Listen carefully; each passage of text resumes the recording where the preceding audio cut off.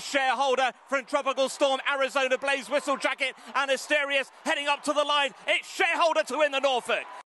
Uh, delighted. You know, he's a lovely horse, and um, we obviously haven't had him very long, but uh, he's done nothing but please us at home.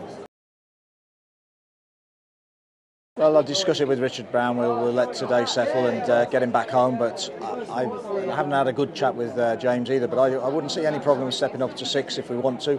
Um, races like the Morny, Pre-Mornay come into that that group. I don't see any reason why we go um, Group One now. He's won his Group Two, and uh, you know Middle Park at the end of the year.